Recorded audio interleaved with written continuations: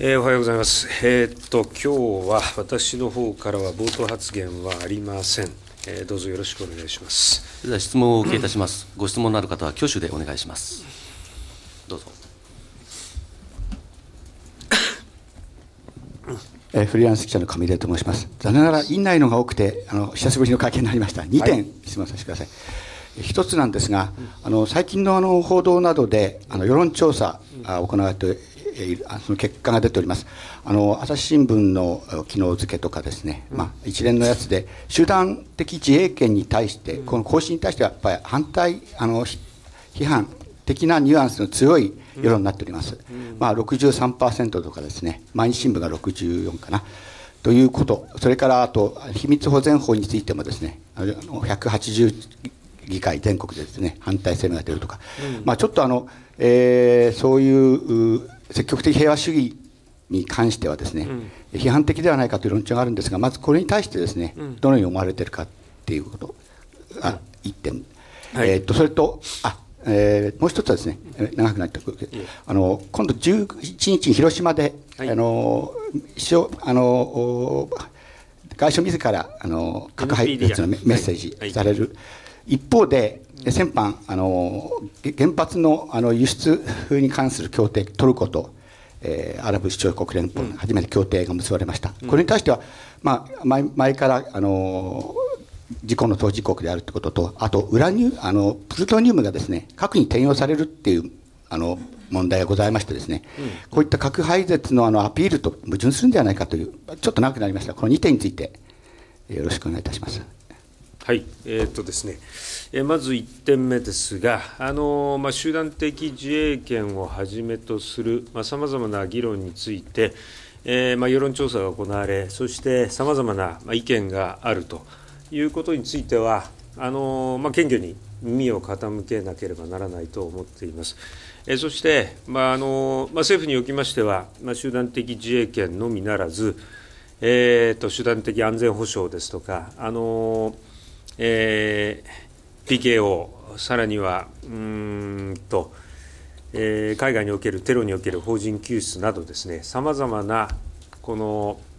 まあ、課題について、えー、この安保法制婚においてのこの議論を、まあ、お願いしているわけですが、まあ、あのこの一件この、まあ、有識者会議の、えー、最終報告を待って、そして政府はとして与党としても与党ともしっかり議論を行い政府の方針を確定するこういったこの道筋を想定しています。ぜひこうしたこの議論の過程において、まあ、のできるだけ丁寧に議論を進めなければならないと思っていますし、その際にできるだけ具体的な例を挙げ、国民の皆様が皆様方からもこの分かりやすい、理解されやすい議論を進めていくことが大事なのではないかと考えています。あのぜひ、えー、多くの国民の皆さんの声に、まあ、謙虚に耳を傾けながら、まあ、丁寧に、え、議論を進めていくことを心がけていきたいと考えております。えー、そして2点目ですが、この、まあえー、っと今週4月11、12、え、第8回 NPDI 外相会議を広島で開催いたします。あのまあ、こうしたことと、えー、と先日の、まあ、原子力協定、えー、のこの、まあ、承認の動き、えー、とが、まあ、矛盾するのではないかというご質問をいただきました。えー、っと私自身はあの矛盾するものだとは考えておりません。NPDI 外相会議、これは核兵器のこの非人道性等を議論する場であります。えー、原子力協定は、えー、原子力のこの平和利用につきまして、えー、日本が、まあ、貢献する、まあ、その大前提として、えー、この核兵器はこの平和利用ではならでなければならない、あるいは核のこの不拡散をもたらすあ不拡散を、まあ、しっかりと確認しなければならない、まあ、こうしたあことを法的にかに確確認するのが原子力協定であると、え考えております。この原子力の平和利用と原子力のあの、えーと、核兵器のこの使用とですね、これ混同するようなこの議論はあってはならないと思っています。えー、そしてあの、まあ、今回、国会におきまして、まあ、日本の原子力協定を、えー、ご議論いただいており、まあ、衆議院におきましてご承認をいただいたわけでありますが、あのその内容においても、うんとえー、それぞれのこの国において、えー、この濃縮、まあ、再処理を行うこと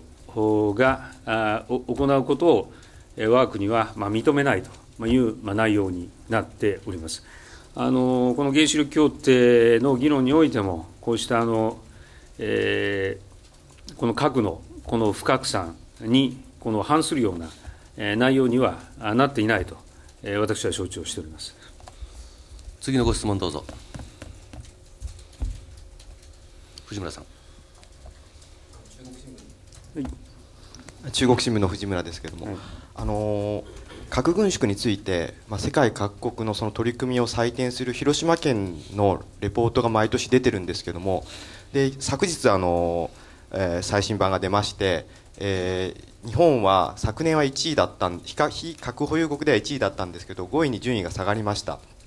でその理由についてはあのー、まあ、昨年春の核兵器の非人道性に関する共同声明に賛同しなかったことやあの核核の傘に依存していることなどが限定の対象になったんですけれども、うん、えー、1位から5位に下がったということについてその大臣の受け止めを教えてください。うん、あのそのえー、っとまあ、その報道はあ今日あの見ましたが、ちょっと内容についてはよく分分析をしてみたいと思います。あの今、藤村さんのこの質問の中にあった理由だけだとしたらですね、順位が下がったことはよく分かりません、まあ、春、賛同しなかったわけですけど、秋には賛同したわけでありますし、その共同声明についてもですね、えー、そして、えー、核のかすかあの我が国の核抑止、この安全保障政策についてはですね、え去年も一昨年も変わって、え基本は変わっていないわけですから、そのことだけをもってですね順位が下がったというのは、あどうも理屈がよく理解できない部分もありますので、今一度、よく検討したいと思っております。いなかったかもしれませんけども、あのまあ、その核の非人道性という核兵器の非人道性というものが、まあ、その注目されている中でも新たに、まあ、評価項目に加わってですね、えー、まあその日本の姿勢は秋には確かに賛同しましたけどどちらかというと消極的だというふうに、まあ、取られた。そこがまあその評価を下げたことにななってるんですけれども。あの最終的にはあのご案内の通りの方針を、まあ、取りました。そして核え核兵器の、まあ、非人道性につきましてはあそれ、えー、この国際社会の中に核保有国もあれば核を保有してない国もあれば、核兵器のない世界に向けてさまざまなアプローチを取ろうとしている国がある、そうした国々を結束させる、触媒としての大きな役割を果たしていくと我々は認識をしており NPDI 外相会議におきましてもこの議論はしっかり行っていきたいと考えております。まあ、核兵器の非人道性につきまして、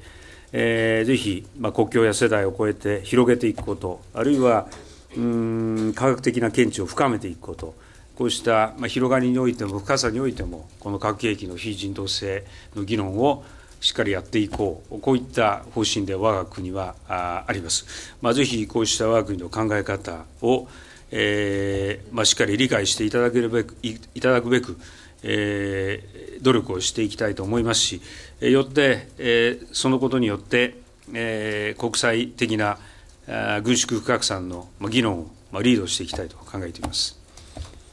渡辺さん。NHK の渡辺です、えーと、まずあの日朝の局長級協議のことをお伺いしたいと思うんですけれども、えー、今後継続していくということであの一致していると思うんですけれども、えー、次回のめどとかですね今後そのどういったテーマをさらにこう追加で議論していくのかとかですねそういった方向性あの現時点で分かっているものというのはあるんでしょうか？えー、っとまあ、日朝の、えー、政府間協議ですが、あのー、3月30日と31日、2日間、まあ、協議を行いました、1年4か月ぶりの、まあ、再開となりましたが、あの、まあ、今回の協議におきましては、日朝双方がそれぞれの、まあ、関心事について、えー、この、まあ、考えを述べ合った、あまあ、そういった内容であったと、えー、報告を受けております。えー、そして、今後、協議を、え、継続するということで一致した、まあ、次第です。あのー、議論が継続される、協議が継続されることは一定の評価をしたいと思いますが、えー、この議論につきましては、まだこれからだと考えております。え次回の日程についても、今現時点では、あこのはっきりしたものは確定しておりません。あのぜひ次回以降の協議において、まあ、我が国として粘り強く交渉に臨み、拉致問題、もちろんでありますが、あミサイル開発、核開発等、まあ、諸懸案を、まあ、包括的に解決するべく、我が国の基本方針にのっとって、えー、議論を進めていきたいと考えています次のご質問、どうぞ。はい、どうぞ。はい。今の質問に関連してあのご質問します、えっと、公式協議が、まあ、あの順調に行われている一方で、5日、6日に非公式があったというような一部報道もございます、このあたりの事実関係、あるいは、まあ、非公式、公式、えー、それぞれの,、まあ、あの進める、まあ、意味というのはあると思うんですが、その点について、大臣はどうお考えか、お聞かせください。うんと4日、5日に協議があったのではないかという、この報道は、もういくつも拝見いたしましたが、そういった事実は全くありません。次のご質問どうぞ。あその関連したんですけど、報道だって北京で、報道だと北京で公式協議が5日と6日に行われたという報道だったと思うんですけれども、北京以外の国で北朝鮮と井原局長の間で話し合いが持たれたという事実はあるんでしょうか？いや全く事実はないと思私はな、えー、承知しておりませんし、事実はありません。ありがとうございます。他のご質問どうぞ。渡辺さん。すみません、NHK 渡辺さん、ウクライナ情勢についてお伺いしたいと思いますけれども、あのウクライナ東部のですねロシア人の住民、ロシア系の住民の多い地域で、あのあの共和国宣言とかですね、あのちょっと動きがまたあのロシア寄りの動きがですね加速してきておりますけれども、今の現状のこの情勢をどう評価されているかということと、えー、それとともにあのそういった情勢、ロシアの対応もこれから出てくると思いますが、あのどのタイミングでですね改めてその大臣のロシア訪問を見極めることにされているのか、えー、ウクライナ東部の状況がどうなったらあのどういった判断をするのかとかですねそこら辺もしあの分かっている段階で構いませんで教えていただけますでしょうか。うんとまず、このウクライナ東部におきまして、さまざまな動きがあるという、まあ、報道については、あの把握しており、えー、そしてあの、まあ、情勢、えー、は情勢には注情勢は注視しております。あの我が国としては、すべてすべての、当事者が自制と責任を持って、慎重に行動することを求めたいと思いますし、何よりもウクライナの領土の一体性、さらには主権、こういったものが尊重されることを強く求めていかなければならないと思っています。えーと、そして私の、まあ、ロシア訪問につきましては、あのこの現状よあのこの予定の変更もなければ具体的なものも決まってはおりませんが、あぜひ、えー、こうしたウクライナ情勢、あるいはあ関係各国の動き等も、えー、この注視しながら、まあ、総合的に判断していく、えー、べきものだと考えています。他にご質問、鳥成さん。え共同通信の鳥成です、はい、あの北朝鮮の人権問題についてお伺いをしたいんですが、はい、今日あの大臣、丸月さんともこの後お会いになる予定になっているかと思いますけれども、はい、先日のその国連の人権理事会で、えー、決議が採択されましたが、はい、まあ、それはあの安保理に対してその北朝鮮の人権状況に対す、えー、人権問題にまあ関わった個人のそのまあ刑事メカニズムへの付託あるいはまあ制裁といったものを検討するようにと安保理に勧告をしているわけですけれども、ただ現実問題として安保理の中で、まあ、あの反対する国もおそらく出るであろうという見方が強い中で、えー、現実問題としてはその勧告通りになるのは難しいというのがまあ客観的な情勢だと思いますが、そうした中で日本としてですねあの今回のその決議今後どのようにフォローアップをして生かしていく方針なのか、そのあたりのお考えをお聞かせいただけますでしょうか？あのまあ、今回の決議につきましては、あのそれに、えー、先立って行われたこのあの発出されたこの報告書に基づいた強い、えー、内容のものであり、この決議自体、この北朝鮮に対して強い国際的なメッセージにに、えー、になったと考えています。まあ、ぜひ、まあ、この決議を今後どう、えー、この活用するのか、あの具体的なものについては、さまざまなああの観点をを、えー、検討しなければならないとは思いますが、あぜひこうした強いメッセージを国際社会ともこの共有しながら、えー、この連携を図り、その北朝鮮にこの具体的な前向きな行動を促すことにつなげていきたいと考えています。そのためにどういったあの行動が可能なのか、あるいは有効なのか、まあ、ぜひ検討をしていきたいと考えています。他にご質問があればどうぞ、保賀さん。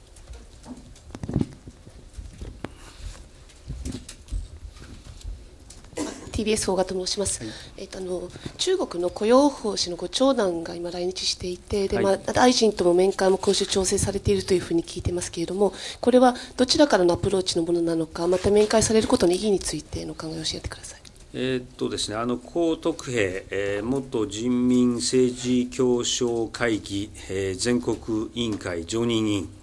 はですね、この外務省の招聘によりまして、4月6日から13日の予定で、えー、訪日をしておられます。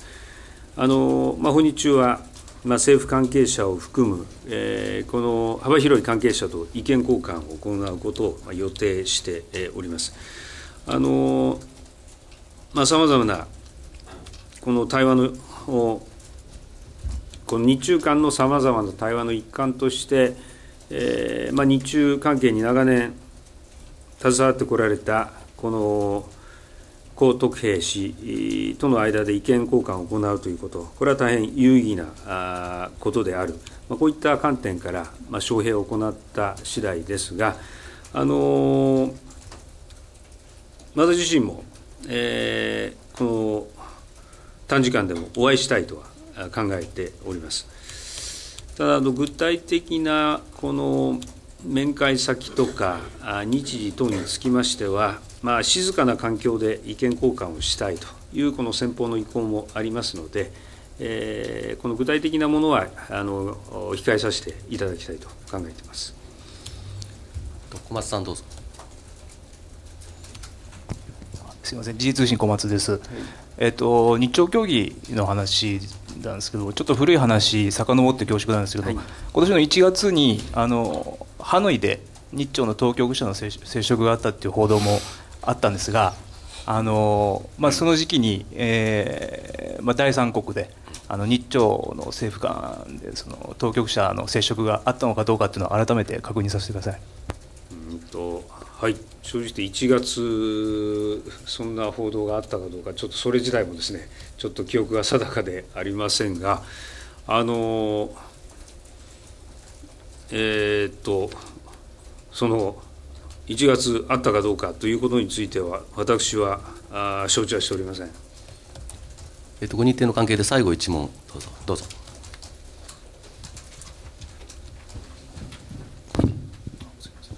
すみません、朝日新聞の村松です。あの国内政治のお話で恐縮なんですが、昨日あのみんなの党の渡辺義美さんがですね代表辞任されましたが、これについての受け止めをお願いします。うん、あのえー、っとあの具体的なこの渡辺代表のその具体的な言動について、えーまあ、政府の立場からですねあの何かあこの、まあ、評価することは控えたいとは思いますがやはりこの、まあ、政治家たるもの、えー、政治資金をはじめですの自らの行動については、まあ、しっかり透明性を確保し、えー、国民に対してしっかりと説明責任を果たす。こういったことは大変重要なのではないかと、ない重要なことであると、私は思っております。まあ、そういった観点から、まあ、渡辺代表として、自らの、まあ、処遇に、あの自らのこの、えー、この行動について、まあ、判断されたのではないかと、まあ、考えます。よろしいでしょうか。それではこれで終わらせていただきます。はい、ありがとうございました。